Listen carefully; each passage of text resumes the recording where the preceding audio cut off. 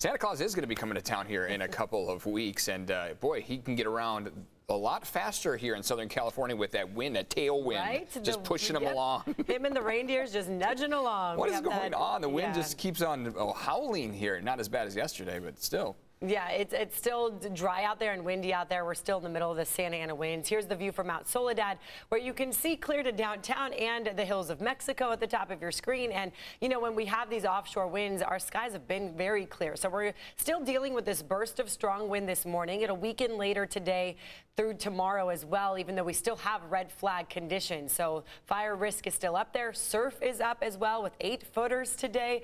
And then the offshore winds return this coming Monday and Tuesday. So we get a slight break before the next round comes back.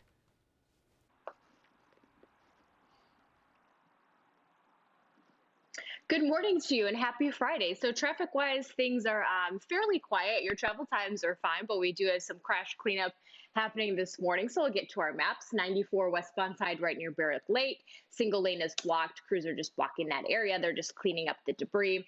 Other than that, careful on the 15 southbound near the 5. It looks like a single lane is blocked. Crews are cleaning up an earlier crash. Back to you. Let's get you to some breaking news right now. Crews are battling a house fire in Fallbrook that has spread to nearby vegetation. Yeah, and you see it right there on the map. It's happening in the 40,000 block of Sandia Creek Drive. Started just after 5 this morning, so less than an hour that this has been burning. Thankfully, no injuries have been reported, and the Sheriff's Department, they say they are closing roads on Sandia Creek leading in and out of Riverside County. And they are asking people to avoid that neighborhood and doing a quick check of the forecast in that area of Yeah. Fallbrook. Right now, our weather producer Tony saying that gusts are up to 16 miles per hour, 18 recorded earlier, so it's not as breezy as what we had yesterday, but it's still extremely dry. We still have those sustained winds that are offshore, 5 to 10 miles per hour. So thankfully, at least we're not dealing with those strong, strong gusts, but we're not out of the woods, of course. Vegetation's dry, the air's dry, and we still have Santa Ana's upon us. So any small gusts could really send that uh, out there in the vegetation. We saw that in Orange County. That same thing happened. House fire turned it into uh, thousands of acres burning. So we will keep you on top of that. And as we've been mentioning, those powerful Santa Ana winds, boy, and Netta just touched on the dry conditions. It's all causing serious conditions across Southern California right now. Crews, again, in Orange County, they're battling that out of control bond fire. That's the one I just mentioned. That burned at least 7,200 acres and forced thousands to evacuate. That's the one that started uh, the house fire and then it got into the brush. A small brush fire also broke out in San Marcos yesterday, but that one was doused quickly. And then we've been talking about the Willow fire that destroyed one home and damaged six others in Rancho San Diego. That one now 100% contained. And even at this hour, thousands of San Diegans are still without power because of these winds. The public safety power shutoffs are expected to last through the weekend. There are several community resource centers open to help anyone who's been impacted. Those do include Descanso, Dulzura, Fallbrook, Julian, Lake Morena, Pine Valley, Potrero, Ramona, Valley Center, and Warner Springs. And several San Diego County schools will remain closed today due to these power outages. Four districts to tell you about here that are going to remain closed. Alpine Union, Dehesa, Valley Center, Pauma Unified, and Warner Unified. And three other schools as well, Hamishai Elementary, Eucalyptus Hills, and Lakeside Farms. In the Poway Unified School District, six schools that were closed have their power back on and will reopen today. Turning now to the latest in the coronavirus fight, our county may be just days away from a new coronavirus stay at home order. This comes as COVID numbers have skyrocketed statewide, so we're going from the county-wide rules now to regional rules. News 8's Evan Narani live along Harbor Island with a closer look at the impact on everything from businesses to travel here. Evan?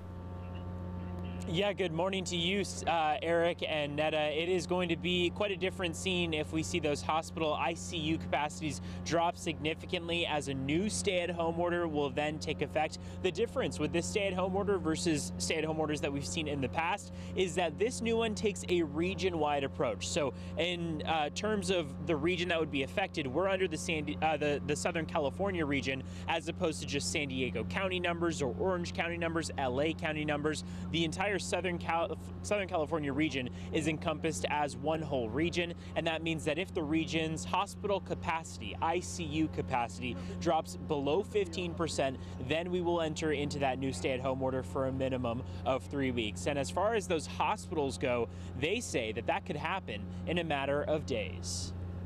This is the most challenging moment since the beginning of this pandemic. If we don't act now, our hospital system will be overwhelmed. If we don't act now, we'll continue to see a death rate climb, more lives lost. Under the new stay at home order, businesses like salons, barbers, and wineries would be forced to close. Restaurants could remain open for takeout only, and grocery stores would be limited to 20% capacity. Beyond that, any non essential travel and gatherings with people outside of your household would be in violation of the stay at home order. If the Southern California region sees a 15 sees capacity drop below 15% in those ICUs, San Diego would then be placed under the new stay at home order for a minimum of three weeks. After that, the state would project new capacity numbers for the region as a whole. If those projections show an increase in hospital capacity higher than 15%, then the region would be allowed to reopen once again. Now, Governor Newsom emphasized that parks and beaches, for example, will stay open, encouraging Californians to still take advantage of the activities that they are able to. So get outside, get some fresh air, exercise, but be sure to do it safely and only with people from your household. Now, again, the emphasis on this is this is much different than that previous tiered system with purple tiers and red tiers. This instead encompasses the region as a whole. And another thing to emphasize is that we get our hospital rate numbers, those ICU bed numbers from the county, and each county calculates their own. So we right now don't have a fully accurate number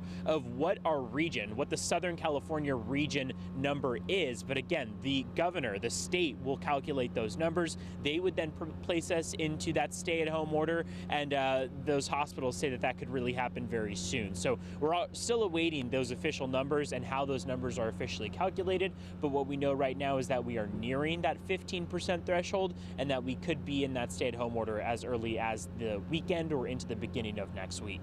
I'll send things back to you. Evan, thank you. And it's important to note the latest numbers from the county. Right now, they did show 1,504 new COVID-19 cases. That's out of the more than 26,000 tests reported. 26,000 people were tested for a positive rate of about 6%.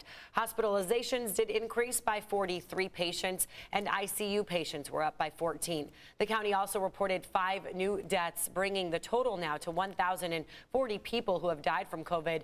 And there were 12 additional community outbreaks. That's 89 outbreaks in the last week. And this just in 245,000 jobs added to the economy in the month of November. That's the fewest since April and the fifth straight monthly slowdown. The nation's unemployment rate did tick down to 6.7 percent. Today marks the start of a beloved annual holiday tradition. And just, you know, like a lot of things around town, it's going to look a little different this year. News 8's Chris Grow joining us live in Balboa Park, showing us how we can all still keep the spirit alive. And Chris, we're counting on you to keep our spirits up. We need that this year, buddy. Again, no, no, no pressure at all this morning. Make sure that everybody's having a good time. Make sure everybody's warming up their spirits this morning. All right, check and check, because here at the Taste of uh, Holiday Nights, we are trying to make sure that we show off everything that is going on.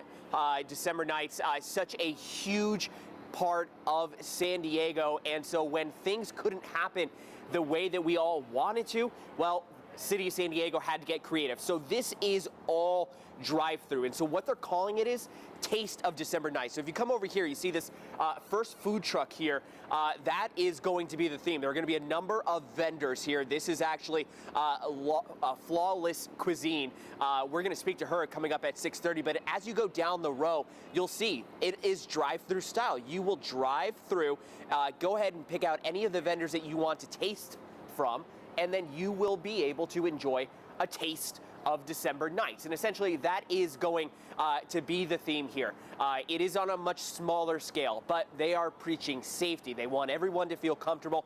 And even with some of those new rules potentially going in place while this is going on, they all abide by them here at Taste of December Night. So it's a, an amazing way to celebrate this holiday coming up. Again, starting today all the way through Sunday at 10 p.m. Uh, so make sure if you want to be able to get out, get the family out, get the kids out, have a good holiday time.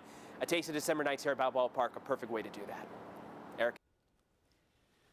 All right, Chris, thanks. Let's check in with Netta. And come hungry if you are going there. Right. Yeah, that food looked good. Uh, here's a look right now at Bahia, and look how calm the bay is. That is not the case at the ocean. Yeah, the ocean waves are big this morning. If you live anywhere near the coastal communities, you're probably hearing the sound of those loud waves crashing. Uh, also, there's wind in our mountains, so we're getting a mix of a lot of things going on this morning. Mount Soledad's view, how gorgeous is this? Look how crisp and clear this shot is. You look towards downtown, you see the Coronado Bridge, and that's Mexico right there. Those lights in those hills up at the top of your screen. So overall, another clear start to your day. We do have strong winds still upon us. These gusts, nothing like what we saw yesterday, but still 37 in Alpine, 22 Sill Hill, 32 Julian. Of course, yesterday Sill Hill, you got all the way up to 94. So things are settling down a little bit, but want to emphasize we still have these offshore winds and they're going to stay fairly strong in the next few hours with that burst of stronger wind this morning. It'll weaken later tonight, tomorrow as well, but still overall offshore coming at us. Those dry things out pretty significantly. Look at our dew points. Not sure if you can even see it because it's just so bright to show how dry it is. Negative for Julian, negative Mount Laguna. These numbers are extremely low, even at our coastline. So all that vegetation's dry, our air is dry, and that's why our fire risk is still out there. You see that here in the mountains and the foothills mainly throughout the next few hours. So until about noontime, we'll still see that elevated uh, wind coming through, that elevated risk of a fire to spread. Just to can't emphasize enough, please don't let your guard down because we still have a lot of dryness going on.